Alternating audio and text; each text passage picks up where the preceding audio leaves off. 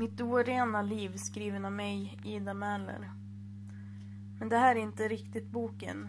Det här är bara mina egna tankar och eh, ord. När jag skrev den här boken så tänkte jag inte riktigt på om det blir konsekvenser. Jag tänkte inte mer än att det skulle bli en bok. Jag hade inga planer ens på att jag skulle göra det här manuset. Utan jag var tvungen att skriva ner för att kunna gå vidare i mitt förflutna. Till sist så när jag hade börjat skriva ett tag så kände jag liksom att ja men det här vill jag ha till en bok. Varför ska jag skriva ner en massa saker som, jag, som har drabbat mig och jag, bara jag kan läsa det? Då är det ju bättre att jag förmedlar mina tankar och funderingar. Och hjälp, förhoppningsvis, förhoppningsvis hjälpa någon annan som har blivit utsatt för samma sak som vad jag har blivit. Jag har blivit misshandlad, jag har blivit våldtagen, jag har blivit sexuellt ofredad. Och jag har haft psykisk ohälsa i fyra års tid. Ja, det varit mer. Eh, men eh, skolan var det som var en bidragande orsak där. Och eh, allt annat som hände runt omkring mig gjorde att jag mådde jätte, jättedåligt psykiskt. Men jag skadade mig aldrig. Jag fick aldrig något självskadebeteende mer än att jag ville hitta på nya lösningar att begå mitt självmord på. Eh, men eh, jag tog inte livet av mig. Men det var väldigt, väldigt nära.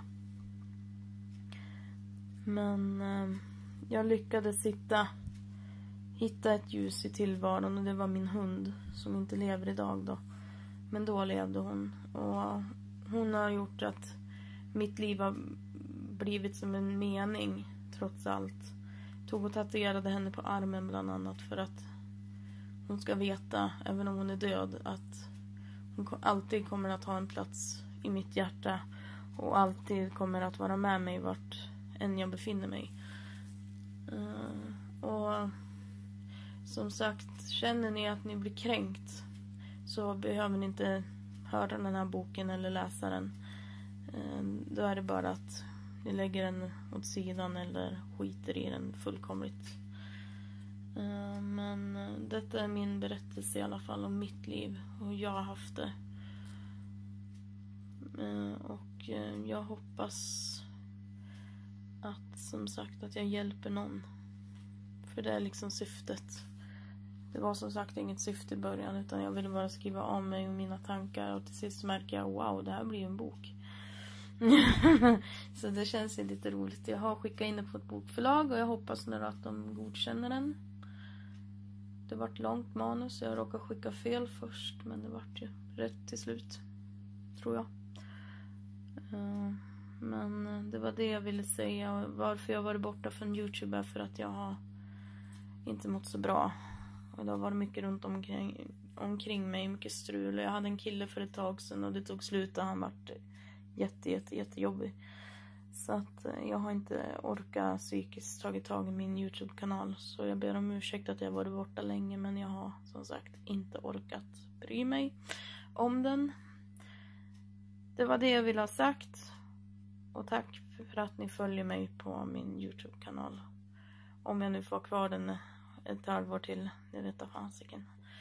Jag hörde att de har ändrat reglerna där inne eller ska ändra reglerna där inne så jag vet inte hur det kommer att gå för kanalen i framtiden om den ens kommer att få finnas kvar.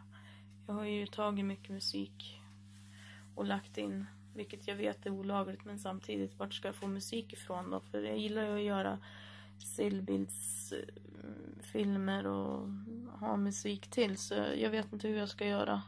Om jag måste ta bort de klipperna eller om jag måste ta bort hela kanalen och starta om den. Jag vet faktiskt inte. Men jag hoppas att jag hittar en lösning på problemet i alla fall. Och jag hoppas att ni fortfarande följer mig och vill vara kvar på min kanal. Fast det var länge sedan jag la in något. Tusen tack om du lyssnade på det här och tusen tack för att ni finns. Jag älskar er. Puss puss, kram, hej hej.